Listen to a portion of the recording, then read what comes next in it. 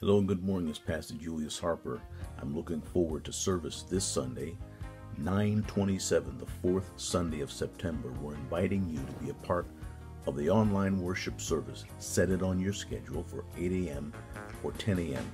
Brand new service, brand new sermon, brand new praise and worship. You'll want to be with us. Looking forward to connecting with you, lifting high the name of Jesus. God bless you and have a great day. Bye bye.